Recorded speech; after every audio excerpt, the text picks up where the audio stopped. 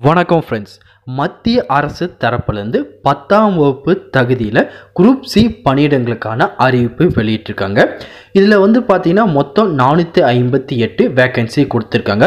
இந்த வேலைவாய்ப்புக்கு எந்தவித ஒர்க் எக்ஸ்பீரியன்ஸ் எதுவுமே தேவை கிடையாது. நீங்கள் ஃப்ரெஷர்ஸாக இருந்தால் கூட போதும். இதுக்கு நீங்கள் அப்ளை பண்ணிக்கலாம். நல்ல சேலரியோட குரூப் சி பதவிக்கான அறிவிப்பு தான் இது. இதுக்கு வந்து பார்த்தீங்கன்னா நீங்கள் அடுத்த மாதம் இருபத்தாறாம் தேதி வரை இதுக்கு நீங்கள் ஆன்லைனில் விண்ணப்பிச்சுக்கலாம். இப்போ இந்த வேலைவாய்ப்பை பற்றி ஃபுல் டீட்டெயிலும் ஒன் பை ஒன்னாக இந்த வீடியோவில் பார்க்கலாம். அதற்கு முன்னாடி நீங்கள் நம்ம சேனலுக்கு புதியவராக இருந்தீங்கன்னா மறக்காமல் நம்ம சேனலை சப்ஸ்கிரைப் பண்ணிட்டு பக்கத்தில் இருக்க பெல் ஐக்கனை கிளிக் பண்ணிட்டு ஆளுங்கர் செட் பண்ணிக்கோங்க. அப்போ தான் நம்ம போடுற வீடியோ எல்லாமே உங்களுக்கு உடனே கிடைக்கும்.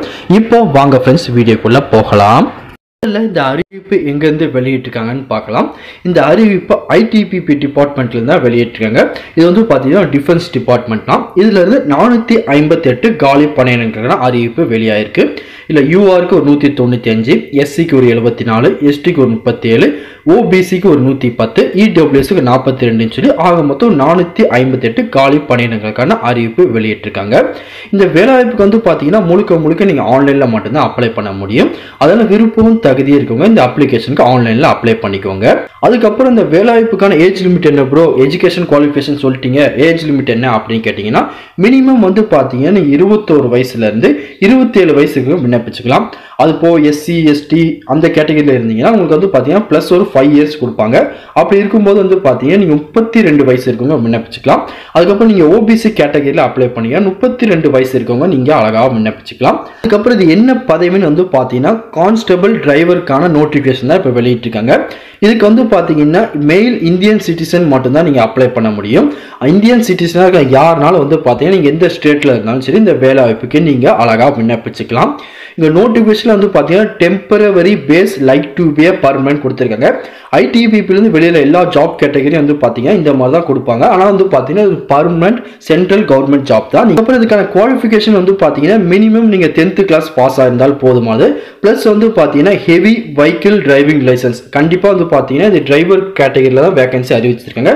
அப்படி இருக்கும்போது கண்டிப்பாக உங்ககிட்ட ஒரு valid heavy vehicle driving licence இருந்தால் மட்டும்தான் இதுக்கு நீங்கள் அப்ளை பண்ண முடியும். அதுக்கப்புறம் வந்து பார்த்தீங்கன்னா ப்ரோ இதுக்கு அப்ளிகேஷன் ஃபீஸ் எதுவும் உண்டா? அப்படின்னு சொல்லி எல்லாருமே கேட்பீங்க கண்டிப்பாக வந்து பார்த்தீங்கன்னா இதுக்கு அப்ளிகேஷன் ஃபீஸ் உண்டு. யாருக்கெல்லாம் வந்து பார்த்தீங்கன்னா ஜென்ரல் ஓபிசி கேட்டகரி அப்ளை பண்ணுறவங்களுக்கு மட்டும் நூறுரூவா எக்ஸாமினேஷன் ஃபீஸ் நீங்கள் பே பண்ணுற மாதிரி இருக்கும்.